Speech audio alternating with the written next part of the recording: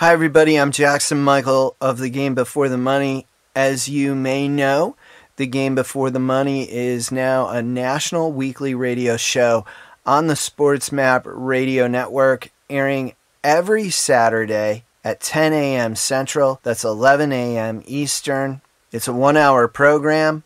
You can listen on your local SportsMap Radio affiliate or at sportsmapradio.com and also on the SportsMap Radio app.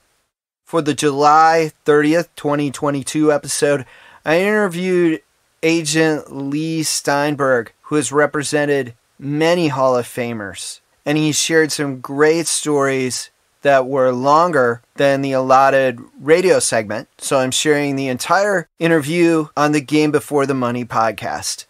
Leigh talked about representing Steve Bartkowski, who was the first overall pick in the 1975 NFL draft.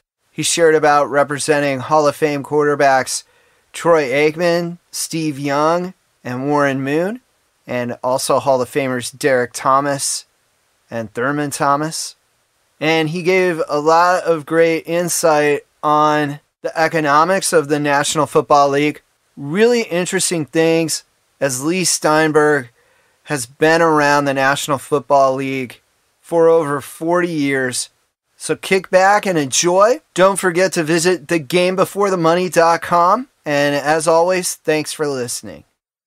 Your first client was Steve Bartkowski, and uh, the Falcons picked him first overall in 1975 as uh, quarterback of the future for them. What what was that like for you and, and for him uh, going in through that experience? So I had been a grad counselor in an undergraduate dormitory, and they moved the freshman football team into the dorm. And one of the students was the quarterback on the team, Steve Bartkowski. And I was in law school. I was actually student body president when the governor of California was Ronald Reagan. So every time we demonstrated, he cracked down, and I learned everything I needed to learn about the art of negotiation from dealing with then Governor, later President Reagan.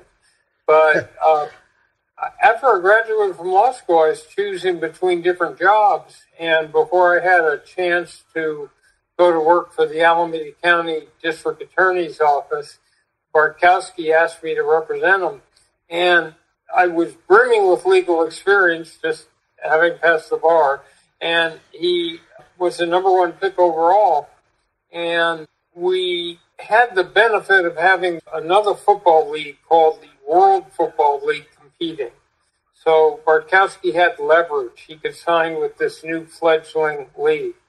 But uh, we ended up making a deal with the Falcons. It was the largest rookie contract of all time. And when we went to sign the contract, we arrived in Atlanta at the airport the night before, and there were Klieg lights flashing in the sky like for a movie premiere. A huge crowd was pressed up against the police line, and the first thing we heard was, "We interrupt the Johnny Carson show to bring you a special news bulletin." Steve Bartkowski and his attorney Leigh Steinberg had just arrived at the Atlanta airport. We switched you fly for an interview. So I saw the idol worship and veneration that athletes were treated in, in many areas. They're the movie stars, they're the celebrities. And it made me reflect back on my dad's two core values, one of which was to treasure relationships, especially family. And the second was to make a meaningful difference in the world in a positive way and help people who couldn't help themselves. So I saw that athletes could be role models and that got me started. But there really wasn't much of a profession then. Teams could just hang up the phone and say, we don't deal with agents because there was no guaranteed right of representation. Yeah, and back back in those days, you know, a lot of players would negotiate their own contracts, and you're you're kind of that first wave of professional agents. Exactly.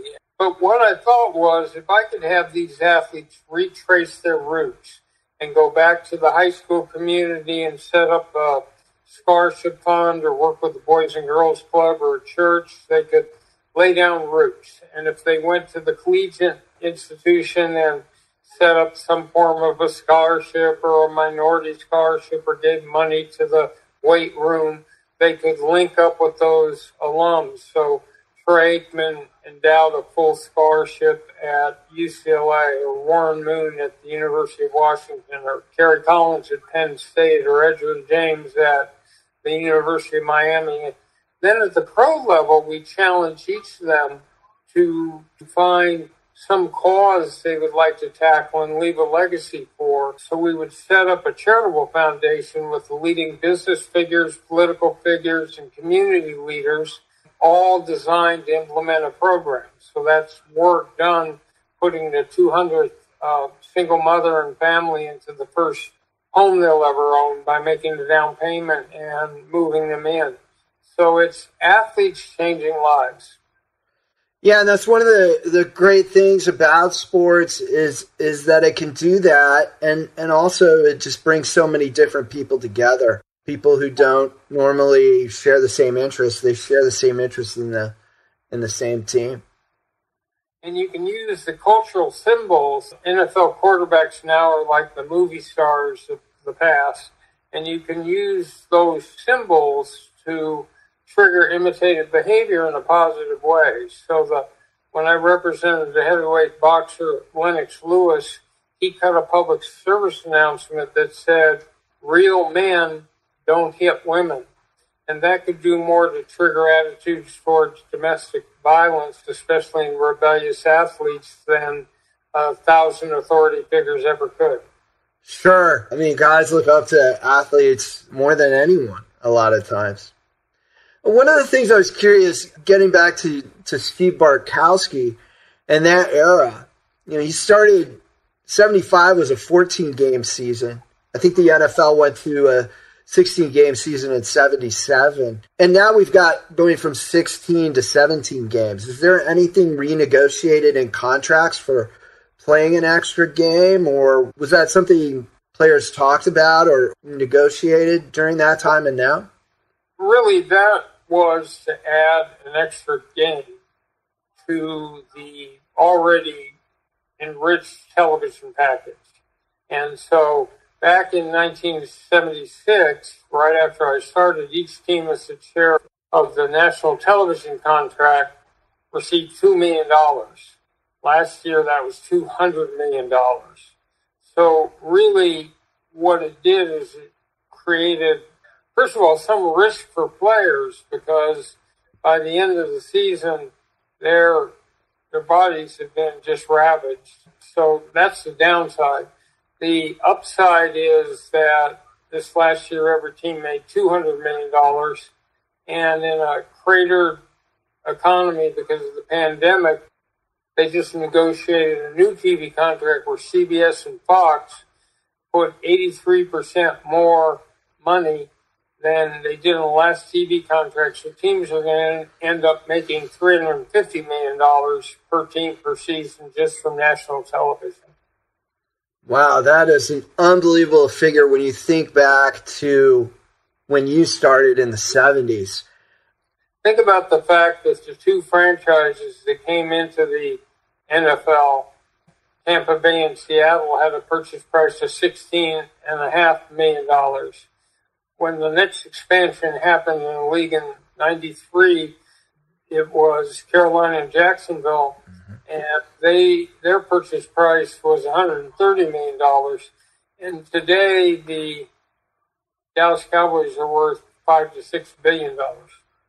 Yeah, that's incredible. And to think when when Jerry Jones bought them from Bum Bright, they were supposedly losing money at the time.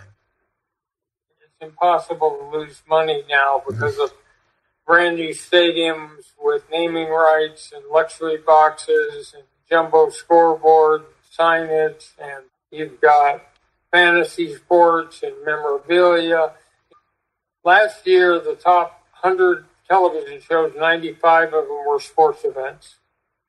That is unbelievable. Wow. Now, you, we were talking uh, a little bit about Jerry Jones taking over the, the Cowboys when he bought the Cowboys. And at that time, you represented Troy Aikman, the, the first selection of the 89 draft. And um, Jerry Jones had just purchased the Cowboys. you've got a great story about that that I, I know you've shared at your sports media conferences. Well, Jerry Jones had bought the team, but he had fired Gil Brandt, who was the super scout, Tex Schramm, who was their president, and the iconic coach, Tom Landry. And he was from Arkansas, so it wasn't a very smooth beginning. Um, but, um, you know, he was incredibly bright and, and incredibly resourceful. And I got the opportunity to be with him at the beginning. And what I said to him was, look, you need to brand that team. In other words, the Dallas Cowboys can be the Dallas Cowboy Travel Agency and the Dallas Cowboys Cruise Line. You can own the most successful entertainment company in the world, but you're going to have to cross market. And so, for example, if the league pours Coke and you own your stadium, you can pour Pepsi.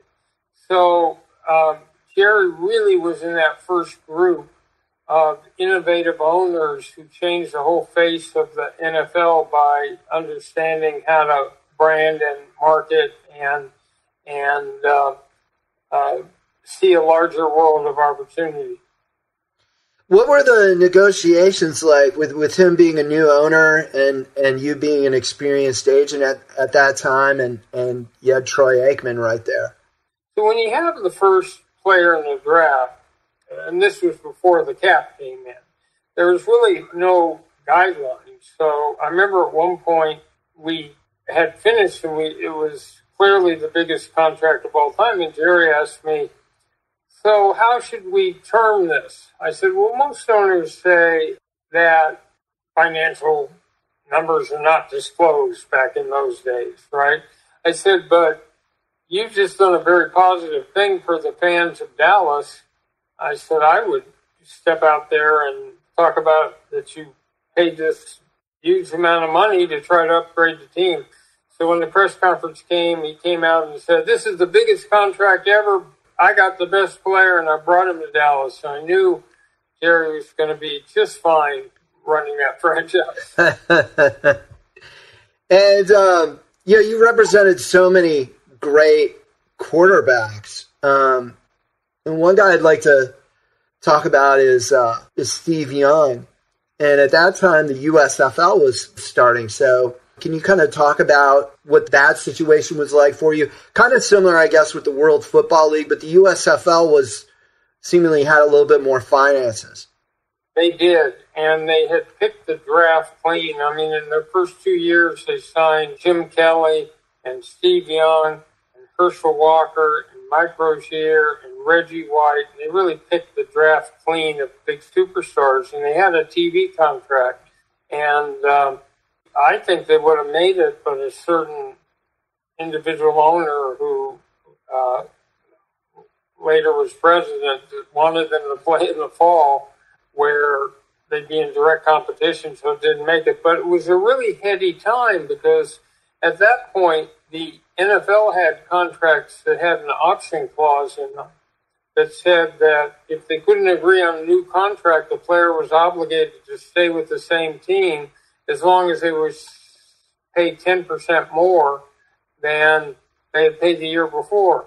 So a player making $500,000 who should be making $3 million, the team could just force him to play an extra year for $550,000. So there was no leverage. So all of a sudden this new league comes together and – Steve Young hadn't really thought about playing in it. Roger Staubach was his hero and, and had a picture above his bed. But they brought in Sid Gillman, the architect of the modern passing game, John Hadl, who had just coached John Elway the year before as a rookie, and a really talented crew. And he figured Cincinnati had the first pick in that draft, and they had an incumbent, which was Kenny Anderson. Well, Steve just wanted to get out there and play. So the contract ended up being, because of leverage, largest in the history of pro sports. And I remember watching Dan Rather lead the uh, CBS Evening News with this amazing contract. And there were headlines around the world. And the irony of it was that here was Steve Young, who didn't even cash some of his checks, and he just signed this prodigious contract. So uh, he went off and had some adventures there, and then ended up in Tampa, and then ultimately in San Francisco. Yeah, it's interesting. A lot of people forget that he started his career with the LA Express right. um, of the USFL. And also, a lot of people forget about another one of your great quarterback clients. He started his career in the Canadian Football League. That's Warren Moon. That was a really difficult situation. Um, I've, I've talked to Warren a little bit about it. You know, he said he was ready to give up football if he couldn't play quarterback. What was that like for you as his agent, and, and what was kind of everything going on behind the scenes?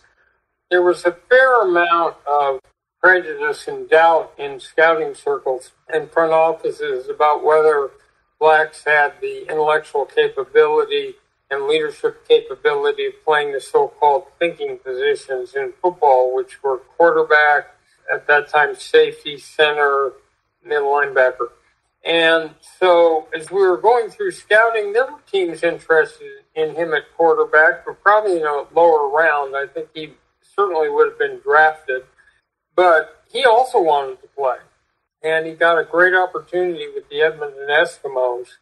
And he was MVP the league, player of the year. And that set up a situation where in 1984 he came back and there were three leagues the USFL, the Canadian Football League, and the NFL, and 12 teams were interested because he was the first pure free agent that you could sign in his prime at the critical quarterback position. And all you had to do was sign him. There had never been free agency in the NFL. So we took a tour of the different cities and we're in Houston and Bud Adams points to an oil well and says, this can be yours, Warren. And uh, we're out in Tampa and Hugh Culverhouse points at the Tampa sphere and says, you can own a couple floors in his building. And so it was really heady because teams had not really competed. They had draft rights over players forever. And he ended up signing the biggest NFL contract with uh, Houston that guaranteed about 80% of the contract. And off he went. He played six years in the CFL and he played 17 in the NFL. So he played actually in four different decades. That's right. He's a four decade player. And you know, what's incredible about Warren Moon is even though he missed his first six years of NFL play, he still was third all time passing yardage when he retired in NFL history. Probably one of the highlights of my career was he asked me to present him at the Pro Football Hall of Fame in Canton that summer, and and he became the first African American quarterback in the modern era to be inducted into the Hall of Fame. So he's sort of an inspiration to many younger players. Yeah, and he certainly was provided so much joy watching him play growing up. I wanted to ask you about another player in the 89 draft who went in the first round in the same draft to Troy Aikman that you represented, and that was Derrick Thomas, who really was dominant linebacker. Seven sacks in one game. Yeah, the Seattle quarterback that game wanted to run for the hills because I think it was David Krieg. It was. It was David Krieg. But I think what really distinguished Derrick Thomas was he had lost his father, was shot down as a pilot in the war in Vietnam. And he stood next to President Clinton on Memorial Day and spoke to the hopes and dreams and heartbreak of all those young kids that lost parents in the Vietnam War. And he had uh, a real affinity for uh, literacy, and he ended up starting a foundation called Third and Long that provided reading help for all the kids in the Kansas City schools. So he was quite a role model. Yeah, wow, and, and incredible. I, I didn't know uh, any of that about him. We we just know these guys as players, and it's really great to hear that they do so much good off the field because a lot of times you just hear the negative headlines. Exactly. And look, news is anything aberrational. News is not an athlete who wakes up in his own house, drives safely to work, signs autographs graciously, is interactive with the press, gives his whole performance, sets up a charitable foundation. News is is drunk driving and domestic violence and and so you get a distorted view of what athlete's life is really like. Yeah, because for the majority of them, it is get up, go to practice, play the game. Yeah, you also represented Thurman Thomas.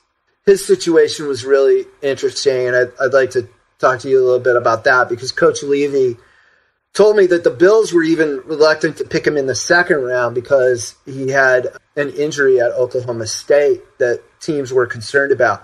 What is it like as an agent walking a player through that process of getting drafted lower than than what their talent level really is? So he was resentful and had a chip on his shoulder and made the whole National Football League pay for the fact they didn't draft him in the first round. And uh, what was unique about him is he was so much a percentage of the overall Buffalo offense because he not only ran from scrimmage, but he caught a ton of passes. And so he was a really invaluable player. I remember negotiating a contract for him, and I said, look, he has the same percentage of impact on the offense that a quarterback has, or he should get a, what a quarterback gets. And we didn't get there, but we did get the largest uh, running back contract. And then Emmitt Smith uh, later that summer held out and they got a dollar more than uh, Thurman. Players are very. It's not the raw amount of money; it's the comparison to other players. It's the competitiveness, and a lot a lot of people forget that kind of um, rivalry that that Emmitt Smith had with Thurman Thomas in the in that contract. Uh, Emmitt even missed a couple of games that year before the contract got finalized. He did. It was one of the famous holdouts, which now, because of the salary cap, we don't have holdouts anymore uh, because there's really very little negotiability to a draftee's contract. That kind of brings me to one other thing I'd really like to learn from you about because you were you were there in the mid 70s while other leagues were getting free agency. Major League Baseball, NBA, NHL the NFL didn't get that until 1993. Why do you think that was? What happened? Well, the the problem is that football players are not going to put you in mind of the Bolshevik Workers' Party storming the Kremlin for more money, right?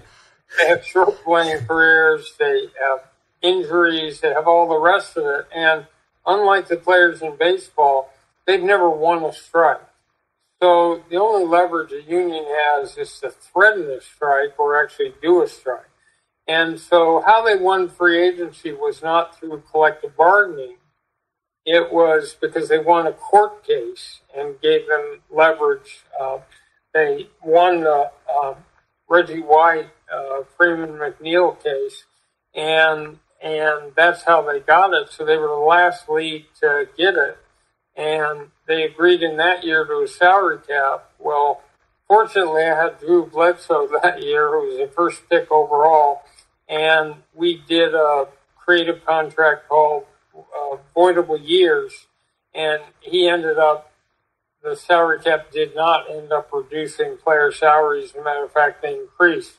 But I think it's that baseball has always had an advantage because uh, players play a long time. They're together for 162 games this season. The injury rate is not as catastrophic. They have a heavy injury rate, but it tends to be more minor things than football players blowing out their knees. And so the older players tell the younger players, you just stick together and we'll be fine. And um, they haven't had that tradition in the NFL. But because since 1987, they've had continuous play. That's one reason why the NFL is the dominant sport today because they haven't had a strike, they haven't had a lockout, a real lockout. Oh, that's right. And and that '87 one was was really ugly with the replacement players, and and '82 was was no fun for uh, for us fans either. What what was it like as an agent going through those strikes? It was really hard because, among other things, when uh, strike came in the '80s, um, the union took the position that a certified agent couldn't sign a player as a replacement. So it created a conflict because it might be in the best interest of a player who wasn't signed with the team to go get some experience, but then that was seen as breaking the strike. So the union decertified, which meant that it stopped charging for dues, and uh, there were very troubled times uh, during during that strike. And what happened is the NFL put on replacement games. And what they found out is obviously the quality wasn't as high. But if you had NFL graphics on television and NFL announcers, the same announcers, and you were watching a game, it didn't take much to think you were watching a real game. And um, so the players ultimately came back and settled. And then they had critical players like Joe Montana and Tony Dorsett and Howie Long crossed the picket line. So they didn't have complete unity. And when was post 93? What was your favorite moment of, of when the players finally got free agency?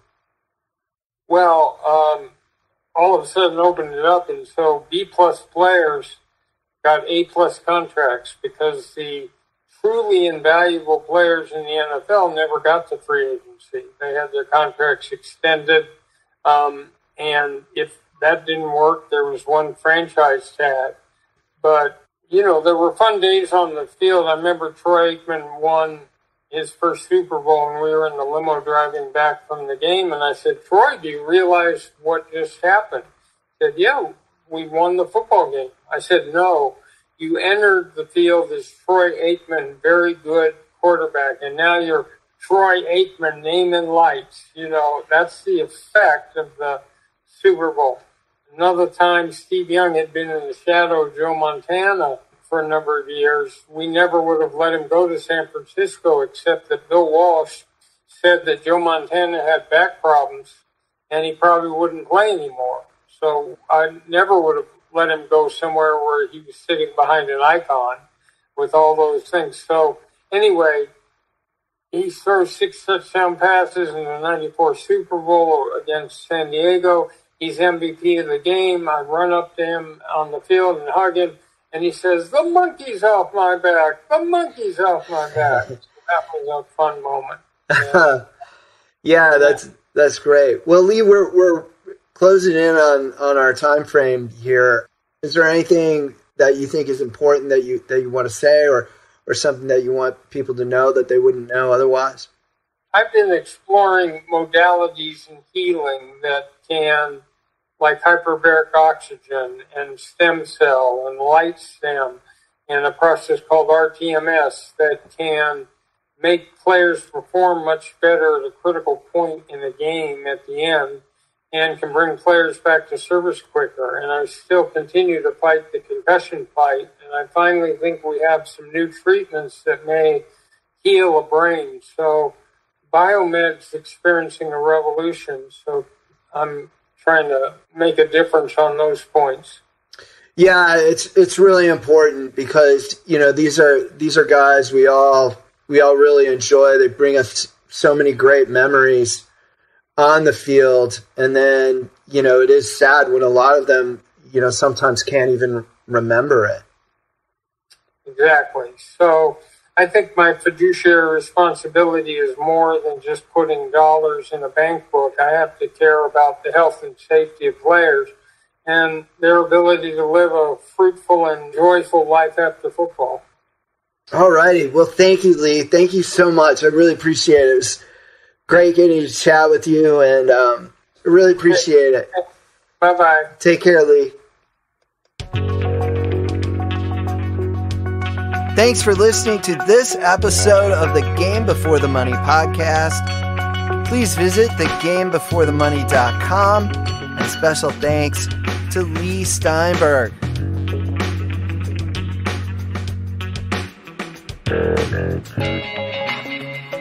I'm Jackson Michael. This is the Game Before the Money.